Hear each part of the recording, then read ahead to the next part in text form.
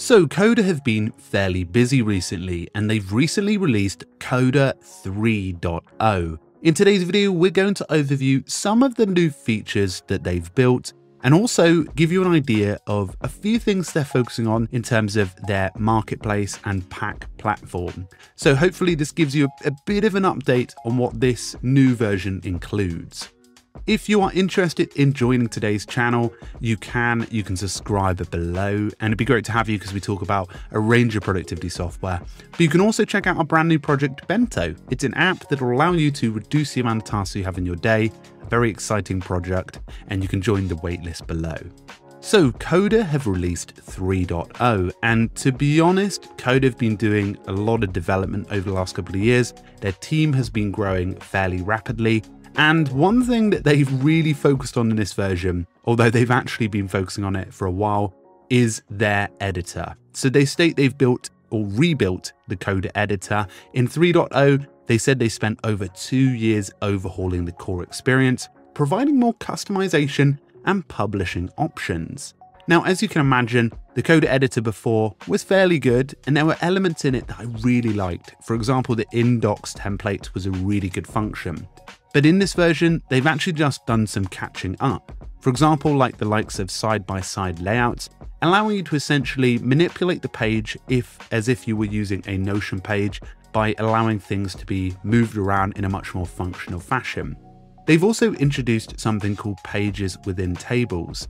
And yes, arguably this function is pages within databases like in Notion. However, I believe that they've done a great job in their viewing options. For example, when you open in brand new what they're calling canvas columns, you can actually change the layout or the viewing option to a detail view, giving you much more context and much more, I think, a lot of more relaxed layout and customization in terms of actually viewing each page, something that you get a lot less of inside of Notion.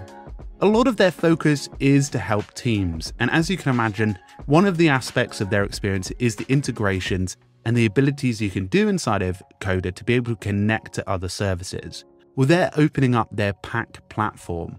Basically, before, integrations were only allowed to be built by Coda team, but now they're extending that to building a pack for themselves. For example, you can build a pack for your company or anyone. And alongside of that, they're introducing something called the Gallery, which is a marketplace with both free and paid templates, are basically an abilities that you can implement inside of your Coda account.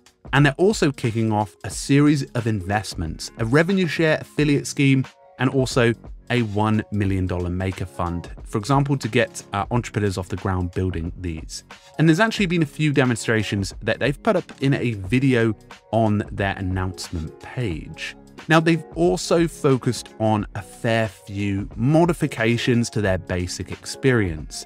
And one of those is that the fact that documents now have improved performance, loading at about 60% faster which is, as many people know, and what they want to see, is a lot faster experience. Now, they've also improved the custom templates, collapsible content in form of toggles, and also reactions. And also, just on the performance side of stuff, I'm reading here that 60% faster image loading and 5 times faster filtering, which probably will help the pack side of stuff grow.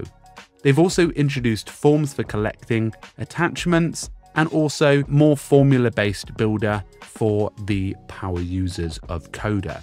So, such an interesting varied range of updates here. And it's something that the Coda team have been actually helping people develop as well. Also, something to note is that they've got some branded lessons on their YouTube channel to help overview those core new features. So, folks, this was just a short overview of Coda 3.0. Hopefully soon I'll be able to do a video about Coda versus Notion to give you a better idea of which one is best suited for you and your team. However, some great new updates from Coda, and hopefully this overview gave you all you need to know. If you'd like to check out Bento, you can find it in the link in the description, a brand new project we're working on. We're super excited, but super nervous, so feel free to join the waitlist below. Thank you very much, folks, and I hope this was informative, helping you dive into Coda 3.0. Cheerio, folks.